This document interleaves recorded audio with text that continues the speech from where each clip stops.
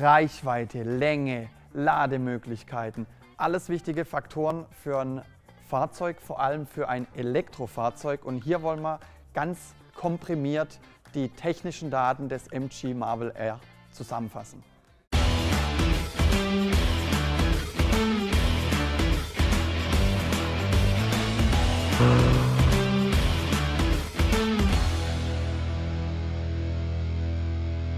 Bevor wir gleich richtig durchstarten und uns um die technischen Daten des MG Marvel R ähm, kümmern, nochmal der Hinweis, wir haben sowohl ein Kurzporträt, also eine Kurzvorstellung, als auch ein komplettes Review über das Fahrzeug schon gedreht. Die Videos sind ähm, hier verlinkt und ihr könnt da direkt drauf springen. Ähm, Elektroauto, automatisch erste Frage, wichtigste Daten, Batterie und Reichweite. Wie sieht es da beim MG Marvel R aus?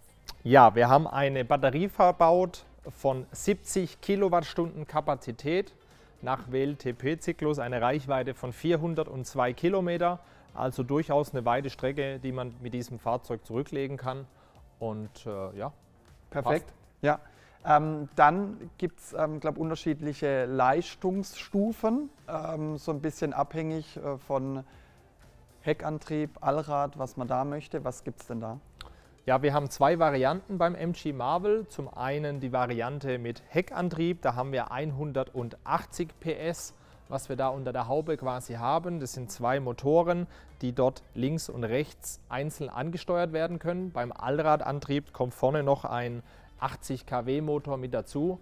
Das heißt eine Gesamtperformance, die wir dann haben in der Variante Performance von 288 PS. Ja, also schon richtig Power. Ähm, ich finde super interessant, das, was du schon gesagt hast, mit diesem unterschiedlich ansteuern. Also auf der Hinterachse, ähm, ich glaube, eine 80 kW ähm, oder ein 80 kW Motor und ein 52 kW Motor. Ähm, und für den Normalbetrieb ähm, verwendet er diesen 80 kW äh, genau. Motor auf der Hinterachse. Und wenn ich das Gaspedal entsprechend fordere, ähm, dann schaltet er einfach den zweiten Motor auf der Hinterachse mit dazu. Und beim Allrad spielt der dritte Motor vor der Achse dann in diesem Dreier-Spiel ähm, zusammen. Also super innovative Technik. Ähm, ich finde es wirklich interessant und ähm, auch das sorgt dann dafür, dass der Verbrauch entsprechend ähm, aus meiner Sicht äh, super attraktiv ist für so ein großes Auto. Wie ist der angegeben? 19,4 Kilowattstunden pro 100 Kilometer. Ich sage mal, in der Realität landen wir da knapp über 20 Kilowattstunden. Kommt immer ein bisschen auch auf Winter, Sommer etc. an. Die E-Pioniere unter euch, die wissen das ja sicherlich schon. Ja. Ähm, aber der Verbrauch ist durchaus so, wie er auch von MG beschrieben wird. Ja, also auch da zu dem Thema Winterbetrieb, Elektroauto haben wir ja auch ähm, schon ein Video gemacht. Das können wir auch hier nochmal verlinken.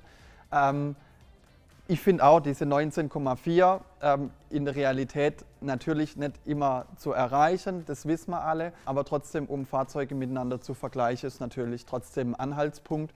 Und da die Größe, das Gewicht, ähm, was man da bewegt, ist das ein absolut ähm, ernstzunehmender und interessanter Wert, ne? der dann letztendlich auch die Reichweite generiert, genau. logischerweise. Ja, dann, was gibt es sonst so für ähm, Schlüssel? Daten, Beschleunigung, Geschwindigkeit. Manche Elektroautos sind irgendwo abgeriegelt. Wie sieht es da beim MG Marvel R aus? Ja, also als Höchstgeschwindigkeit werden die 200 Kilometer pro Stunde angegeben. Ich sage mal, das sollte man nicht allzu lange auf der Autobahn dann auch fahren, weil dann entsprechend der Akku sich leer zieht. Ja, dann ist der Verbrauch ein anderer. Aber ja, wissen wir auch. Gemütliche 120, 130 km/h mit dem verbauten Tempomat, denke ich, überhaupt gar kein Problem und dann kommt man auch von der Reichweite her wirklich weit. Okay, perfekt. Also 200 Stundenkilometer, also auch das, man kann auch Gas geben. Ja. Außenmaße, mhm. Länge, Breite, Höhe, was sind da die ähm, Kennzahlen? Flaggschiff von MG haben wir schon angesprochen, dementsprechend auch das längste und größte und breiteste Auto von MG, was wir haben, mit einer Länge von 4,67 Metern, einer Breite von 1,91 Meter und die Höhe, kleines bisschen kleiner als wir, liegt bei 1,61 Meter. Okay. Zulässiges Gesamtgewicht immer interessant. Mhm. Er liegt bei 2,3 Tonnen. Mhm. Ähm, interessant bei diesem Fahrzeug ist auch, dass wir eine Anhängelast haben ja. von 750 Kilo. Ja. Also auch für die Hobbyhandwerker, die ab und zu zum Baumarkt fahren, kleiner Anhänger ohne Probleme. Perfekt, ja. Und Anhängerkupplung wird immer bei uns nachgerüstet. Das gibt es nicht werkseitig äh, zu bestellen. Heißt, ähm, da können wir ganz individuell, auch wenn ein Auto schon da ist oder äh, schon in der, äh, in der Anlieferung bei uns ist, das einfach nachrüsten. So ja? sieht's aus. Ja. Übrigens auch der, der schon einen fährt und das nachträglich machen möchte, kein Problem, können wir gerne tun. Mhm. Ja. Dann ähm, würde ich nochmal das Thema Kofferraumvolumen, auch für viele ein, ein Schlüsselfaktor. Was haben wir da? Mhm. Also das Spannende bei MG, und damit fange ich gleich mal an, das ist vorne der Frank. Also ich habe vorne auch die Möglichkeit, 150 Liter Kofferraumvolumen in Anspruch zu mhm. nehmen. Hinten, ich habe es probiert mit einer Sporttasche, da bekommt man auch ordentlich was rein. In konkrete Zahlen sind es 357 Liter. Mhm.